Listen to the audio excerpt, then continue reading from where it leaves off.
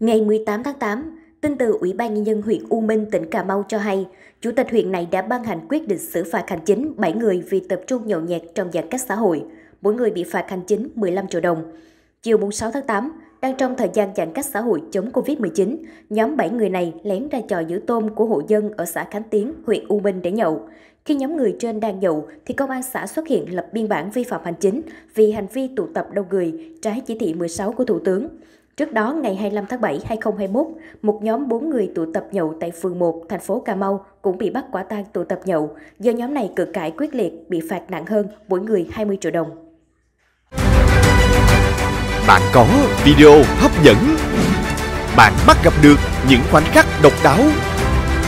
Hãy gửi về plo a vòng pháp luật tb.vn để nhận ngay quà tặng và những bút hấp dẫn.